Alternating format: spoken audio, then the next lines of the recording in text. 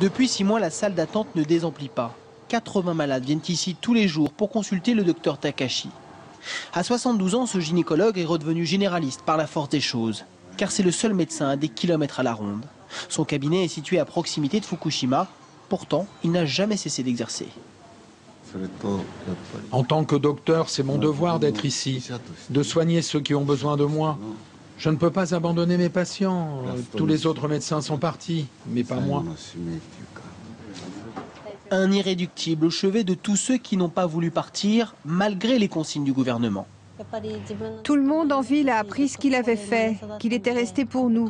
Nous que tout le monde a abandonné, même le gouvernement. À ses patients inquiets, il tient le même discours. Sa vie n'est pas menacée par les radiations. Pour nous convaincre, il nous emmène dans la rue pour son relevé quotidien. 0,18 microsievert, il n'y a pas de risque. Le plus grand danger, c'était le tsunami. J'ai vu dans la mer des centaines de morts. Alors les radiations, c'est rien. Oublier la centrale, reprendre une vie normale. Le souhait de ceux qui sont restés,